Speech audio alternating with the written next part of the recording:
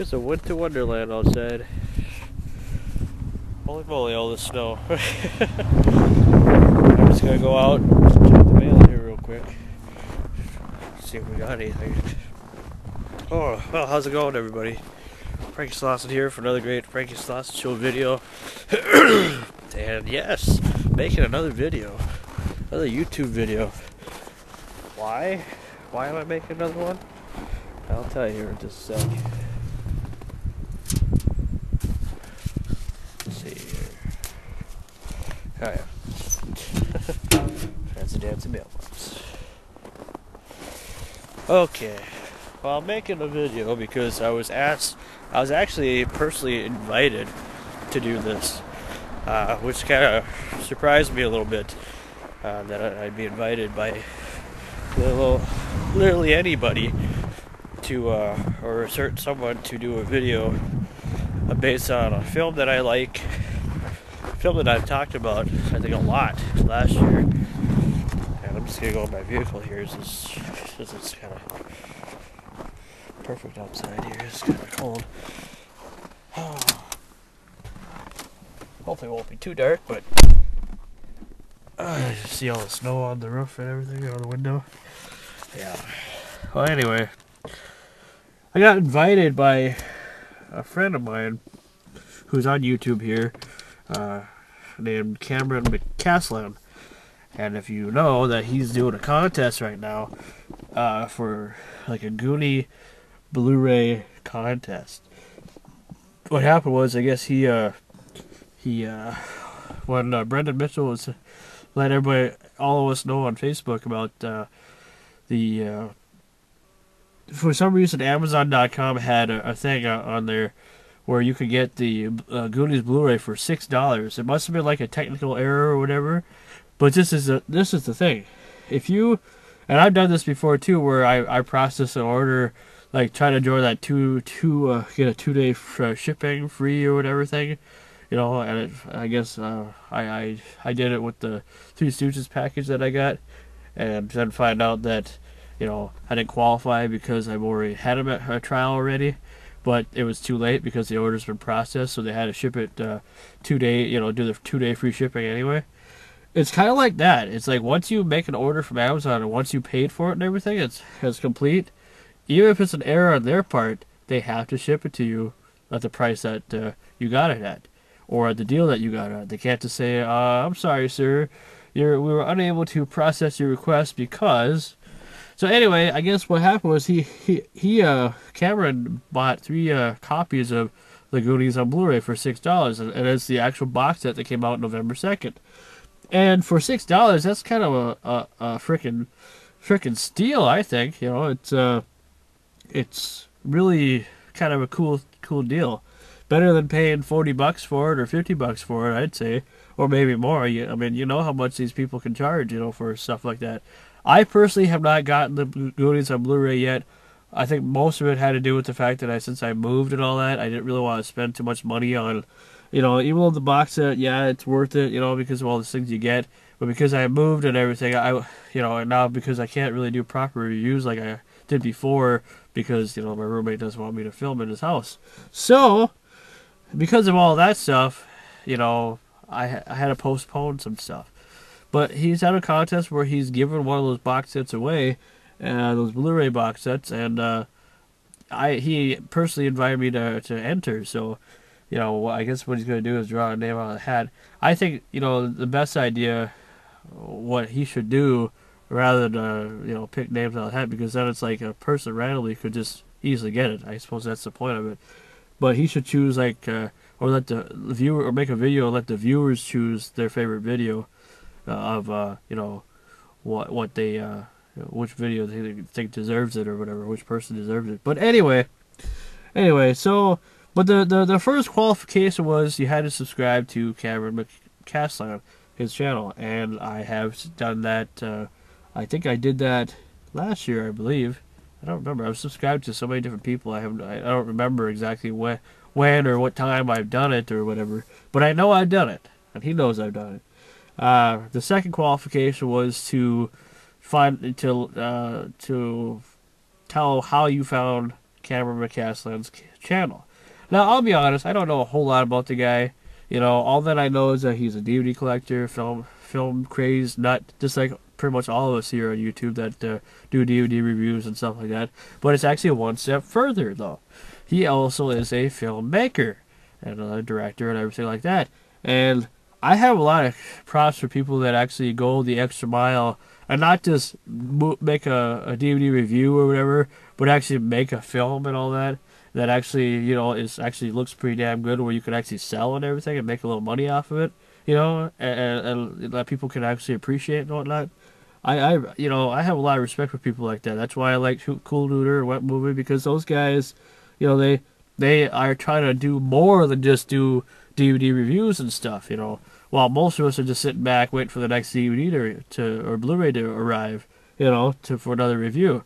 These guys are actually doing film, making films, and, and, and being very successful at it. That's why I have subscribed to Cameron McCasland channel. How I came across it was pretty much through Sean Phillips. I believe Sean Phillips and What Movie, I believe, uh, Brendan.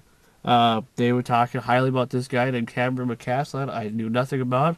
I checked out his channel and was very impressed by everything that uh, that he's able uh, that he's done so far and whatnot.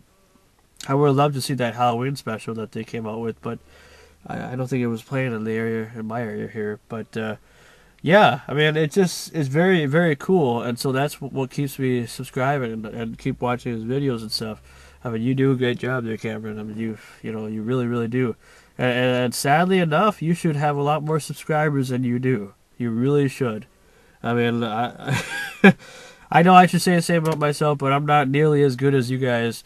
I'm not nearly as good as Sean Phillips or What Movie or or uh, you know or even Cameron because you know these guys have a passion. I have a passion for it too, but unfortunately I don't have the money. Okay, I don't have the the money to invest. I mean, I have a little money, but it's not enough to invest in a nicer camera or a studio or you know all these different things. Uh, because I know for a fact that that's how you guys make your movies, and you guys actually have all these professional cameras that actually make it look really, really nice. You know, you know how to do all that stuff.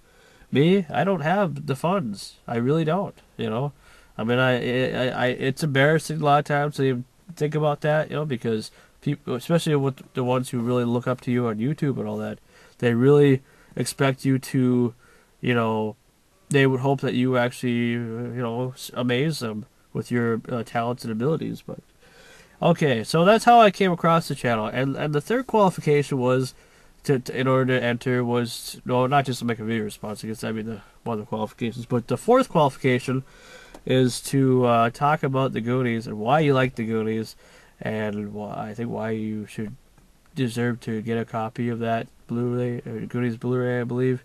Now, I was going to do like this fancy smancy video, you know, I was going to throw in my old uh, Goonie trip. See, the Goonies lately, and, and, this is how it's always been for me, and I've said this before in previous videos, ha, it, it's always been a, a, mark of, of uh, I, I feel like there's, there's some closeness to it. Even more than Back to the Future, even more than Ghostbusters and all that, you know. I, I really feel a connection with the Goonies. I always have, and I probably always will.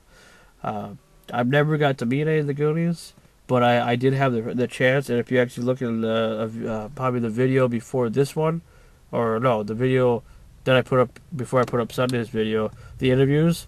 Go look at the interviews that I did with uh, Ron Fugelseth and Pat Radcliffe. The, they're they are the guys responsible for directing that Goonies documentary, uh, the uh, untold story of the Goonies, and uh, very good stuff. I had the chance to interview those guys, and then they sent me an autograph copy of that. If you guys remember that little chat that I had with Brendan Mitchell on, on his channel, What Movie One, yeah, on his channel, we did a Skype conference, and uh, I talked about that and showed him the autograph and all that stuff, and you know, so I've had connection with that, and also the fact that I've, you know, it finally in 2008, in May of 2008, I was able to go and and uh, see Astoria, Oregon for itself in person. I don't know how many of you guys have ever done that, but if you if you never have and you want to see the see the town of Astoria, Oregon, and see the Goonie House and see the kindergarten cop school and all that stuff, you know I recommend to go do it. It's very very fun, and, and you have a sense of respect.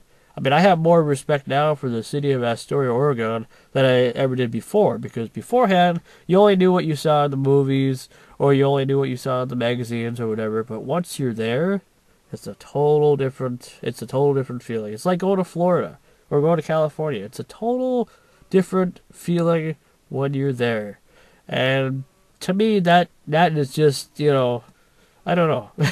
I'm still kind of surprised that I was able to do that. You know, I've never been a rich guy. I can't afford to go from trip to trip or whatever. But the fact that I was able, that it worked out so well that I was able to do that is just amazing. But the Goonies have always been, you know, I've always had a big connection with that. And my favorite line of the Goonies is pretty much the one where where Mikey says it all starts here. I know it's just a simple one-liner, but to me, that scene really sets the mood of the Goonies. There's a lot of different lines, a lot of different classic lines that you know make the movie great. But my favorite is "It all starts here." Mikey, you know, saying that so quietly, and the music going on in the background, and it just to me sets the ultimate mood. You know, if you guys don't know which one I'm talking about, it's it's a scene that you you, you don't really hear about. Sorry about that, guys found out my batteries were really low, and I had to go get some, had to go change the batteries. Luckily, I, I was smart enough, you know, from the days of my Boy Scout days, to uh, actually go ahead and get. Uh, uh, well, I had a, a, pack of batteries or that I bought last year or whatnot.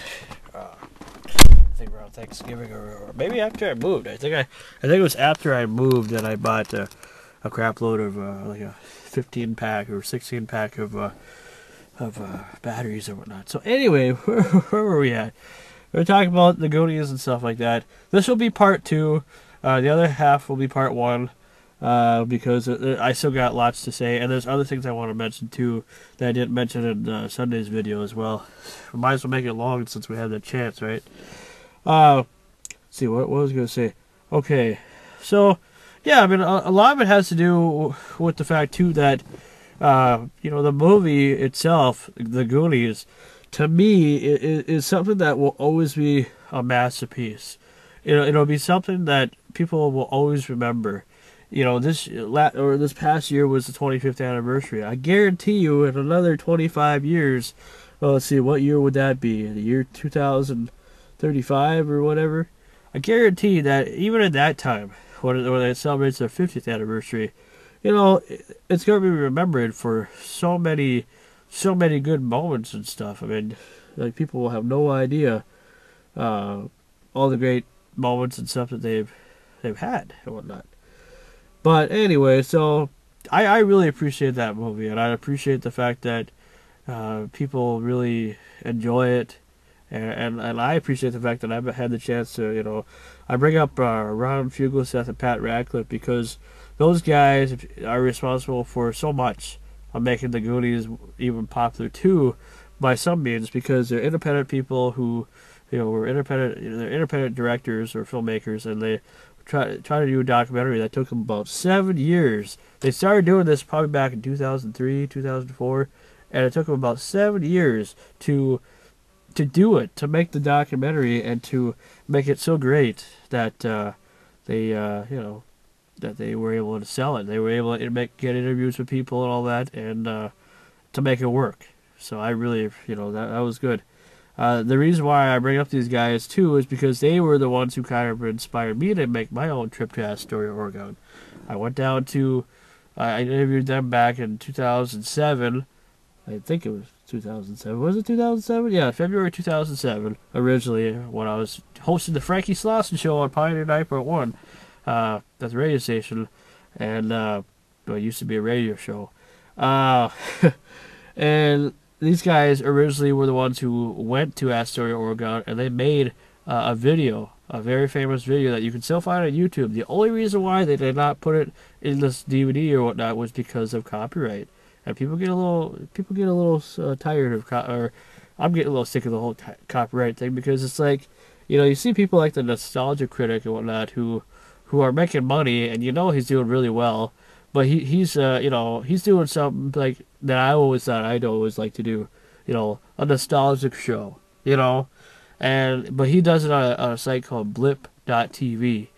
which I guess allows you to uh, copyright or something, or either that, or they allow you to use it if you're using it for a purpose or something like that. But anyway, but I'm sure he, he this is part of his job and all that too. And but it's cool to have people like that because it really brings you back to uh, the good times and stuff. You know, while you know now you know we, we talk about things like the the homeless man with the golden voice. You know that to me has been the only good story that I've heard in the news for in a long time you know, the guy who, uh, this is kind of off, off subject, but, you know, he was, you know, homeless or whatever, and all of a sudden somebody made a video of him and threw it up on YouTube after the holidays and everything, after New Year's or whatnot, and the first week of the year, you know, 2011, there was a, uh, it made that guy, uh, Ted Williams, uh, get a job uh, all over the world.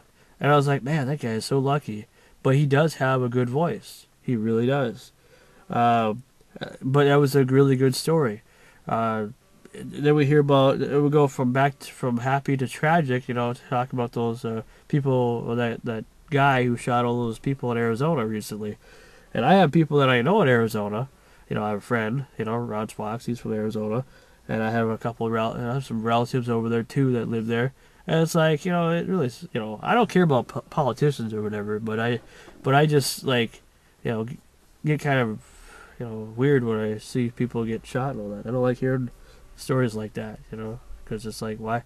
It, it, you got to have balls in order to want to shoot somebody. I tell you that much. And I mean, I have balls, but I, I don't have enough. They're not big enough to uh, want to go and do something like that. That's for sure. Uh, so anyway, so this video, you know, yes, you know, it is kind of long, but I don't care. You know, it's like, hey, I can make longer videos. I'm going to do it. I think uh, Cameron got the idea of what I was trying to get at uh, with this contest and stuff, and uh, it'd be nice to win a copy. I would definitely be, uh, definitely be great, you know, because I do have the DVD of it. I never bought the Blu-ray, obviously, because I said in part one that, you know, I just didn't have enough funds. You know, just right now I don't. But, you know, I'm trying to save up some money too because uh, things, you know, certain things might be changing around here a lot sooner than expected. Uh, and I'm not going to go into detail about right now, but maybe later on, uh, if, if things are still the way they are, then I'll let you guys know more later on. But right now, I can't say anything. uh, I also want to uh, say thanks to the Phillips family. They, uh, I think they they all saw the video that the shout out video that I did for them, and uh, you know it was just out of it wasn't because I you know I wasn't told to do it or nothing. It was just a random act of kindness, something I just wanted to do and uh, you know, just because I, I was watching the the video that they did about uh, what was it? Oh, it was about uh, oh they talk about uh, air guitar 1982 and how he was saying some kind words about Shawn and Dweebo and all that, and then talk about this guy named Gordon Everyday who was one of the uh, cool duder haters, I guess, and, and it's like why would anybody want to hate somebody, you know? or you know, I mean, this is the internet, this is YouTube. You know, it's a social network. It's more of a social network now than it ever was before. But I don't know why. Why would you want to hate on somebody just because you don't like them or or you're jealous of them or whatever? Just leave them alone. You know, I mean, this Gordon Everyday guy. I've seen his videos, and you know he does okay. You know he does, and he's and he is being true to his daily vlogs and stuff. But I I just don't understand. I remember last year. You guys remember the video that I put up uh, way before I decided to do my daily summer vlogs and all that stuff. Uh, uh, it was called, I think, Frankie showing respect to, or shows love to Cool Duder or whatnot. It was a really popular video and all that stuff. Uh, well, at least it was popular. It got over a thousand views anyway. Uh, the thing is that I was, uh, I, I made that video because it was out of respect for the, for, for Shawn and everything that he's done and, and because, you know, we've never met in real life, but we've always been good friends online and stuff. And uh, you know, all these people hating on MJ and stuff like that, and and uh, I got a couple people that asked me about you know the last video that I put up, and I was talking negative about MJ. I wasn't trying to you know talk bad about MJ at all. What I was trying to do was try to just make a point saying that you know in some of the videos that he's done with Shawn not so much the earlier ones, but like the later ones, like before they they moved to, before he moved, Shawn moved to California, that you know, that I felt that, you know, and I'm sure a lot of other people felt that MJ was acting really negative towards Sean, you know, in some of the videos. Like he didn't really want to make the videos, whether it was his character or not. You know, the guy who gets, you know, annoyed is kind of gets old after a while, I think. But MJ is a very talented guy. It's, it's very cool that to see him do um, more videos and stuff like that. He you know, I even I remember when he had his eBay sale uh, before they went to California to raise some money. I, I was happy enough to purchase a couple things from MJ personally that he actually owned. Remember that that Ghostbusters thing, uh, Ghostbusters sign or whatnot, and what else was there that he also gave me an autograph picture and stuff, and a couple other things that I got from him, I believe, books and stuff. So you know, I thought that was pretty cool. You know, I really did, and I still have them. I still have them hung up. You know hung up in my uh, my room upstairs or whatever. So yeah, you know, it's it's it's just uh, a little bit of this, a little bit of that. So I'm gonna call this video pretty much uh, Frankie's ranting, I guess. Well, the first video is just gonna be the the Cameron McCasland video, and this one's gonna be called the just more ranting. Because I know I'm going to get some feedback saying, God, Frankie, you just shut up for a sec, you know? You just keep talking about one subject or another. But you know, it's not you know this is a new year. It's you know new year videos, and uh, the, you know of course the next videos that you'll see are, are the audio vlog uh, from the the radio stream tonight. Uh, we have uh, well I guess well, well, when I put this video up the or this video up it'll be already done, but. I have a radio show tonight that uh, I'm gonna upload the audio stream. That'll be the next thing, and then I'm gonna make uh, bring the camera along for uh, to do another radio vlog video. Now I know some people are asking to you know, like show like us doing some video stuff like at the radio station behind the scenes rather than just record everything that you record on the stream. So I'm gonna try to do that tonight. I'm gonna I'm gonna see what I can get, and uh, you know see what we can do. But it should be a lot of fun, and yeah. So okay, so I think that's about it. Uh, like I was saying on this Saturday, I am planning on seeing that movie True Grit because it's here in theaters, uh, here in town anyway. I know it's been in theaters for a while now, but we finally got it in down here, and I just didn't want to drive all the way to East Grand Forks just to go see it. Uh, I will do a review. In fact, when I do the video review or like the video vlog or whatnot of their station, that'll be in conjunction with my True Grit review on Saturday. So you'll see all that videos probably Saturday night because I get the whole weekend off or whatever. So it should be a lot of fun, and uh, I I don't mind westerns myself. I mean, even if they are spaghetti westerns, you know, uh, westerns are good. It's good to know that people still make westerns. I, I thought there was something that was just going to get out of style, but I don't think they ever will. I really don't. So, yeah. so anyway, that's my video for today. And I uh, hope you guys enjoy. Subscribe, you know, get the word out. Frankie's here on YouTube. He's still around. You know, I'm not I'm not going anywhere. Uh, you know, this year is just gonna be I don't know, just a year where we just take it one day at a time, I guess. Uh, I don't know really what to say. I mean, I might this year finally invest in a new camera. I was thinking a lot about that. You know, I mean, I do want to go on another vacation and all that stuff, but I, I'd rather have a, a new camera right now. So maybe by the summertime, I will finally invest. If I'm still living in Thief River here, maybe I will finally invest in a widescreen flip camera because I've heard nothing but good things about those. And uh, flip is what I've been using for the last two years, or you know, that I've been on YouTube but a widescreen one would be a lot better. If you guys know of any good deals or whatever on those flip cameras, if I can get them real cheap or whatever, or if you got one that you want to give away or whatever that you're using that you don't want to use no more, uh, just let me know and uh, you know I'd be happy to take it off your hands. I know I made a video a long time ago asking about you know people want to give away their stuff or whatever. Got kind of got high tensions the last time, so this is just if you you know have a flip camera that's an HD widescreen. I'm looking for one. Uh, you know, I'd be willing to pay a little bit if you if you want to sell it or whatever. You know, just let me know. And uh, yeah, it'd be kind of fun. So anyway, I'm host Frank Slawson, and we will see you for another great Frankie Slawson video. Bye bye.